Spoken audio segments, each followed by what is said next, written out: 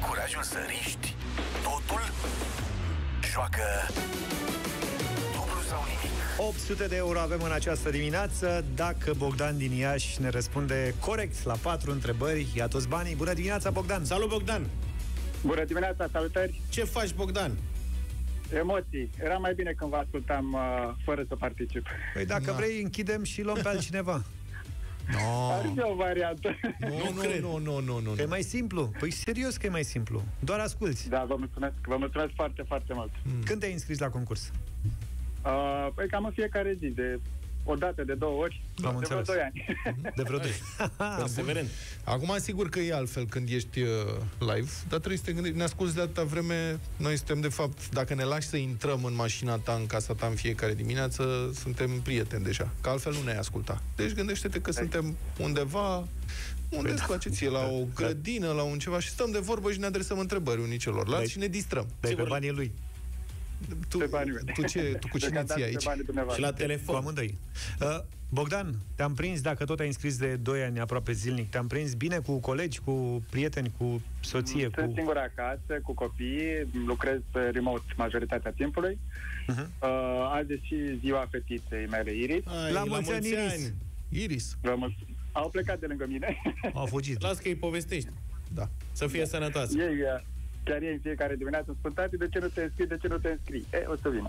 Și Îi ești, scriu tati, dar nu mă trage. ești cu colegii pe Zoom acum? Nu, sunt acasă singur. Am înțeles Bine Păi, Asta e.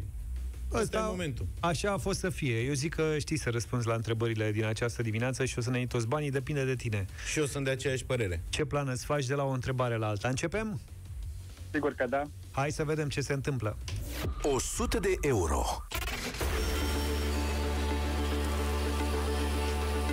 Bogdan! Pentru 100 de euro, prima întrebare de astăzi este din actualitate. Spune-ne ce țară a vizitat zilele trecute președintele Claus Iohannis? Egipt.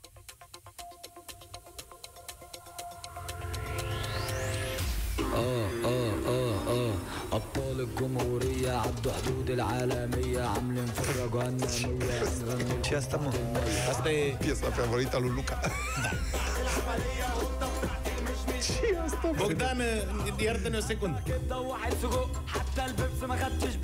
Ăștia sunt fel de repări egipteni. Nu poate să vorbească. Și când mergi în Egipt în uh, excursii de-astea opționale, egiptenii sunt foarte melomani așa și puși pe distracție și dacă vă că ești română, spun manele, direct. Da, s-a pățit. Bănuiesc că da. domnului președinte, mai ales că l-au văzut în pozele de la New York cu Sorinel, i-au pus... Astăzi I-au băgat direct ceva ca lumea. Țancă Da. uraganul forjă. Dacă văd că nu te ridici, nu cânti, nu dansezi, nu ai pe manele, trec pe de-astea de ale lor. Deci, Discret. Și De dacă asta- văd că îți place, dansează, se dau de tumba, fac... deci Ia de uite. asta la, la mine în barcă au stat pe țancă uraganul tot Nilul. Au văzut că îți place. Ai tăi, da, ai Eu mișcat. mă feream, Ai da, mișcat e- piciorul? Erau niște... Că dacă dădeai din piciorul, ei au zis gata, ai dat Erau două domnișoare în barca aia, știau versurile pe beat. Înțelegi? Pe beat. Adică Pe vezi? Au nimerit-o. Cântau, era meserie. Ai mei în barcă am avut șansa că nu Că au, erai cu intelectuali. nu au, da, n-au interacționat la manele și atunci am avut parte de El Savaric ăștia, care El sunt un Savaric? fel de P.U.G. Mafia din Egipt. Așa. A, da? Da. Bine, Spune-i domnului. revenim la Bogdan. Bogdan, mai Ai ești cu noi? câștigat, bravo! Sunt, Asta. mai sunt. Ne mai distrăm și noi, Bogdane, na, nu te super, da? Nu mă supăr, am vizitat în 2010, luna de miere, Egiptul, știu cum. Bine, văzut? n-am trecut peste gard ca domnul președinte, dar Aia, să Asta te e. plimbi pe acolo Acum. sus pe piramidă, nu e chiar În 2010 nici țancă uraganul nu era, deci nu puteai să ai experiențe de astea. pentru- Da. Ce facem? Trecem la 200 de euro sau ai luat Trecem la 100 și ai 200. plecat? Bravo, bravo. Bine. 200 de euro.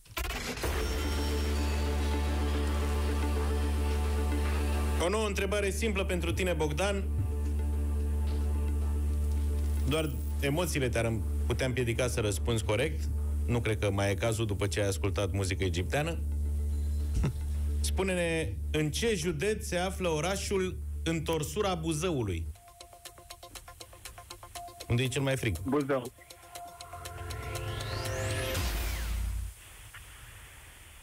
Serios? Nu e, era prea simplu. Adică, da, nici eu nu înțeleg de ce e botezat în felul ăsta și, sincer, până acum 3-4 ani, eu nu știam că întorsura Buzăului e oraș, jur. Dar ce credeai, mă, că e o curbă? sau Un ce? meleag, o ceva, Un meleag. un loc magic, Practic unde e, e foarte frig, unde drum- se întoarce Buzău. Asta, te duci, cum ar veni, spre Buzău și pac, întorci. Acolo Asta e zic, e o, întorsura. e o curbă.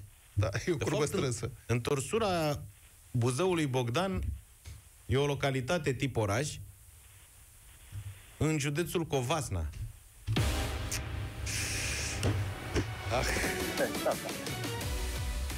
Da, n-aș fi crezut că te încurc cu asta, dar uite. Da, nu e o zonă care o frecventez prea des. Da, pe nici eu n-auzi, dar tot auzi la meteo, toată ziua. Cel mai frig e la întorsura Buzăului. Da, cu mă, tare. și tu ce auzi la Dar nu meteo, te spune duci ce imediat județ. să vezi unde e. Bat recorduri. Păi, la un moment dat te uiți și tu. Adică eu știam unde e. Nu știam că e oraș. Cotele apelor Dunările mai asculți? Mai sunt și acolo Era- niște curiozități. Să știi, să știi. Da, Deci uite. e Moldova nouă pe Dunăre. Exact. Și din Excelent. aceeași categorie, Da, bravo. da, da, da, da. Da. Bogdan, îmi pare rău. Nu e Sper nicio măcar problemă, că vă ți-a făcut mulțumesc. plăcere să râzi cu noi în dimineața asta. Da, a fost extraordinar. Vă mulțumesc mult pentru... Și te mai așteptăm că știi cum e, dacă ai încercat 2 ani și de-abia acum te-am prins, poate data viitoare va fi mai rapid. În următorii patru, Nu mă, de ce? Sigur prins. N-ai cum să o ții langa așa. în logică ritmul n-ai. ăsta. Poți E să chestie și prinzi. de noroc Da. ca să ajungi în direct. Vă mulțumim, mulțumim tare mult, Bogdan. Luni o luăm de la capăt. Practic 100, 200, 400 sau 800 de euro. Dai piesa egipteană? Nu. Nu. Cel mai deștept concurs radio revine luni în deșteptarea la Europa FM.